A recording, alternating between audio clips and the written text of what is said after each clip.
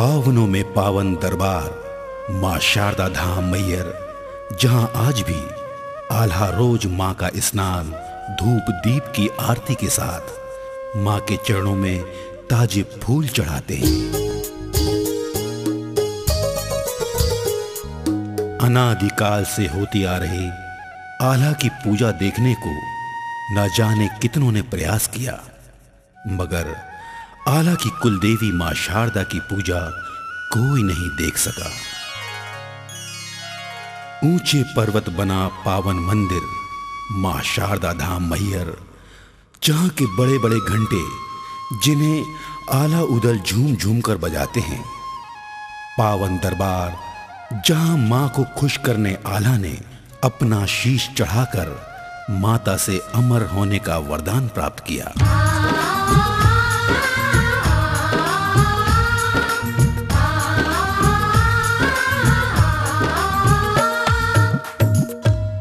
दुखों को हरने वाली माँ शारदा के दरबार में स्वयं भगवान नरसिंह के साथ, भैरव और भैरव के साथ हनुमान द्रष्टव्य हैं। वहीं दादा नीलकंठ आश्रम से दरबार की छवि निहारते बनती है। ऐसी धर्म की नगरी में माँ के दर्शन से ही सारे कार्य सफल होते हैं। मैहर दरबार में हर इंसान की मनोकामना पूर्ण होती है। अंधे लंगड़े हों या दीन दुखी, मैया अपनी कृपा सब पर करती है। मगर जिससे माँ रूठ गई, तीनों लोकों में उसे कोई नहीं बचा सकता। इसलिए चतुर बन माँ की सेवा करो, मूर्ख बन बहलाव नहीं। तो आइए, माँ के अद्भुत चमत्कार का वर्णन आपको सुनाते हैं।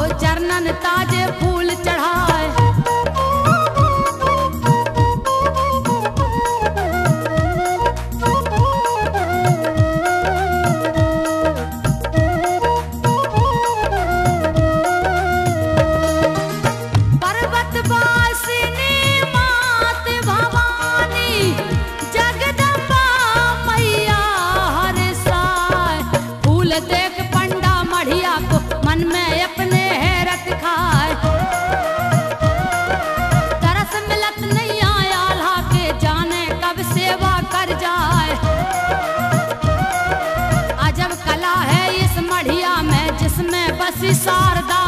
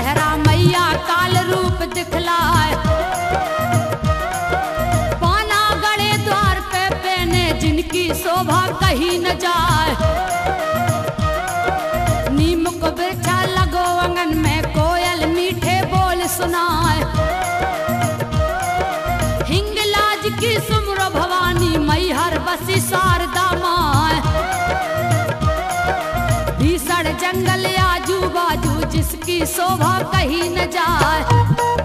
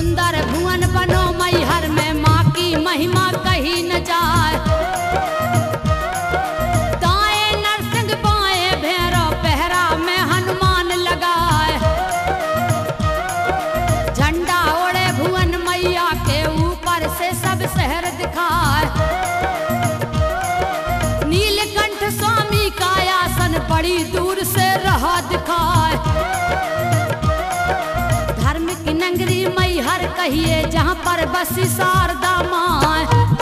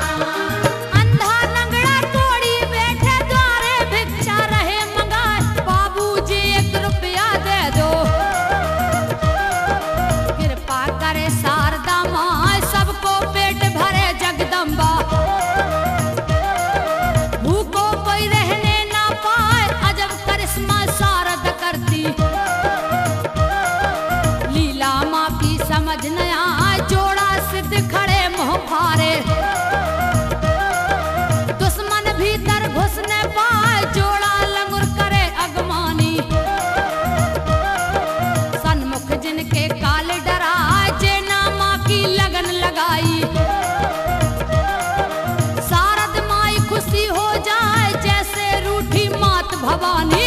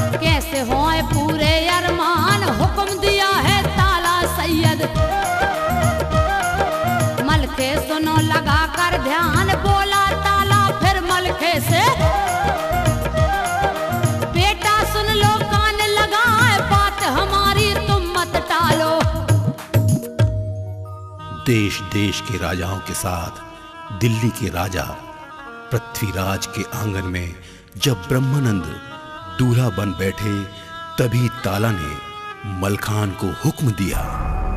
मलखान, माहिल आखिर तुम्हारा मामा है। उसे माफ़ कर, रिहा कर दिया जाए।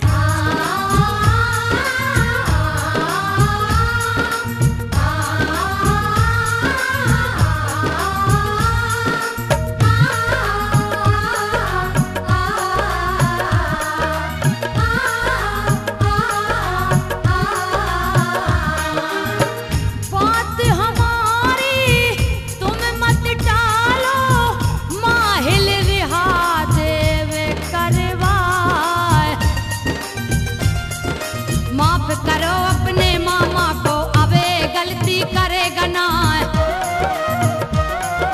तब मन मान गई मलके के माहिल को दिया रिहा कराए। आगे कूच किया लसगर ने, गढ़ दिल्ली ढिग पहुँचा जाए।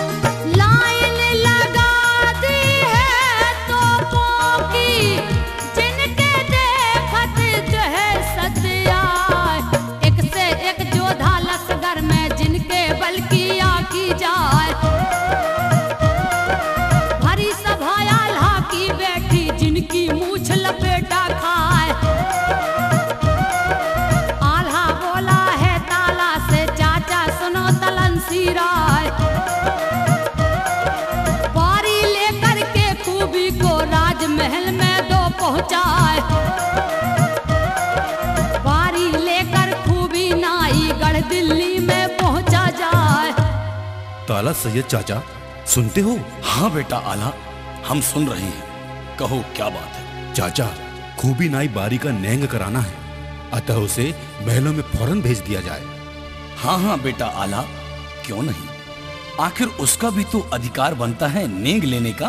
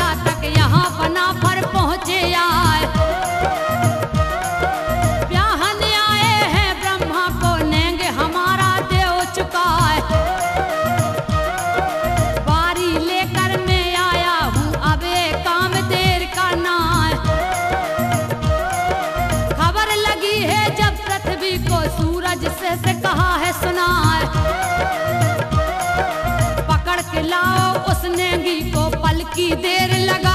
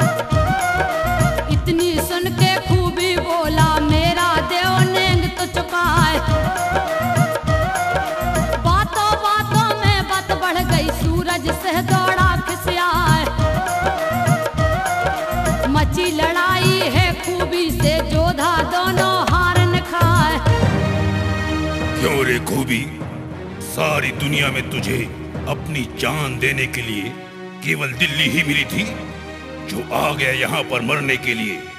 अगर जान प्यारी है और बाल बच्चों की सलामती चाहिए तो एक क्षण भी रुके बिना फ़ौरन रवानगी डाल, समझा? राजा, तुम महान हो, विराट हो। सारे हिंद में तुमसे बड़ा बलवान, शक्तिशाली कोई नहीं। मगर इतना होने के बाद भी तुम्हारे मुँह से ये बातें उचित नहीं पड़ती। अरे नेंग मेरा अधिकार है, और मैं हर हाल में अपने अधिकार का हनन होने नहीं दूँगा। राजन, तुम्हारी भलाई इसी में है कि तुम मेरा नैंग चुका दो। मैं चला जाऊँगा। हाँ चाहे कितनी भी कोशिश कर लो, खूबी नाई खाली हाथ जाने वाला नहीं है। छोटा मुँह और बड़ी बात। अबे दो कोड़ी के नाई। तेरे मुँह में ये गज भर की ज़ुबान कहाँ से आ गई? ताहर खड़े खड़े मेरा मुँह क्या देख रहे हो? बंदी बना लो इस नेंगी को। राजन, हम भले ही दो कौड़ी के हैं, लेकिन हमारे बिना दुनिया में कोई भी शुभ कार्य नहीं हो सकता। भले ही हमें कैद करवा दो, लेकिन फिर भी हम अपना नैंग लेकर ही दम लेंगे।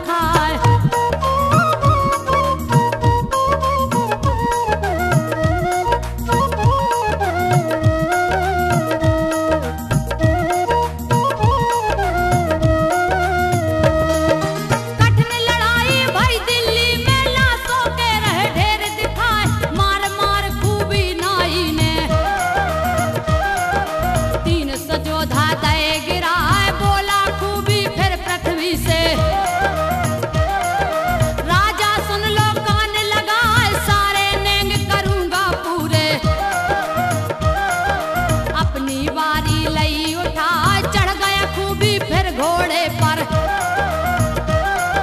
पहुँचा जहाँ बना फर रहा है उतर के घोड़ा से खूबी ने। अपना दीना शीश झुका फिर महलन की कही हकीकत। और कही सुना तलपत देखा खून से महोबा के आन बान और सम्मान की बात है। अब राजा पृथ्वीराज की जो भी शर्त हो, पूरी की जाएगी। मगर बेला को ब्याहे बिना हम महोबा किसी कीमत पर नहीं जाएँगे। अब तो बेला को लेकर ही जाएँगे।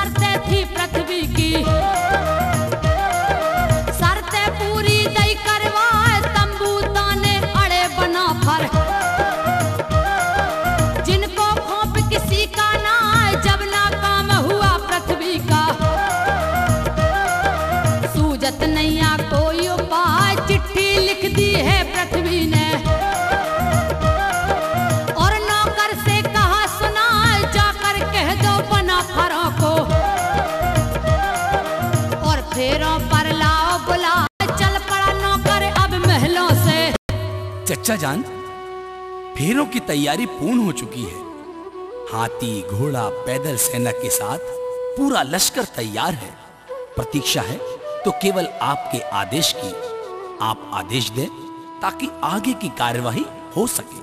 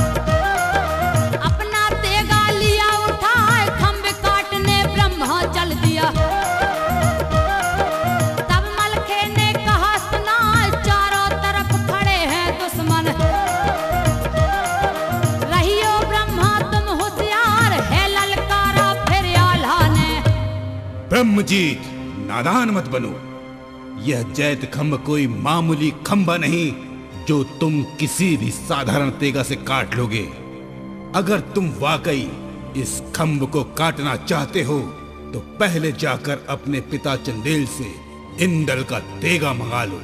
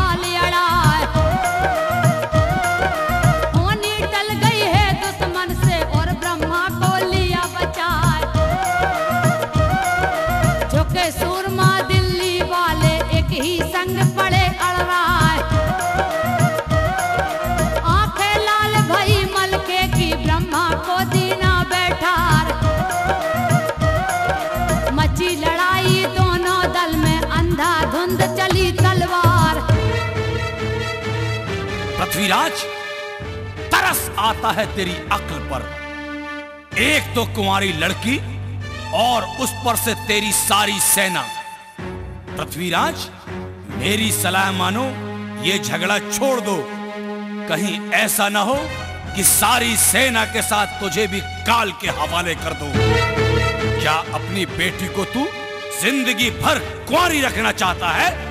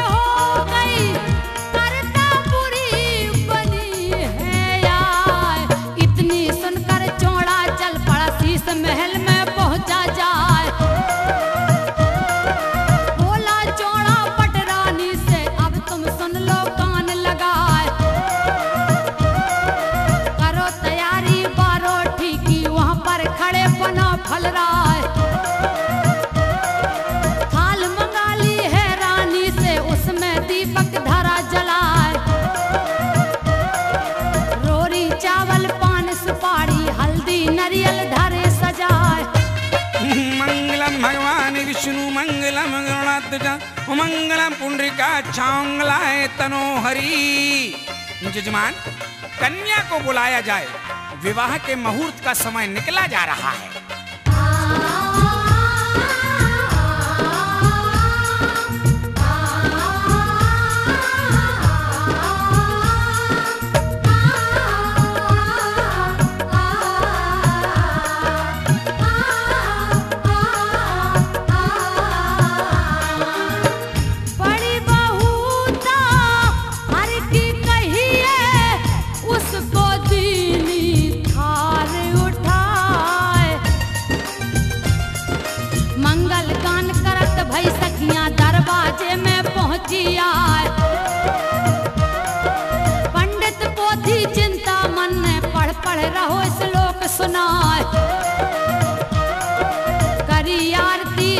মাটির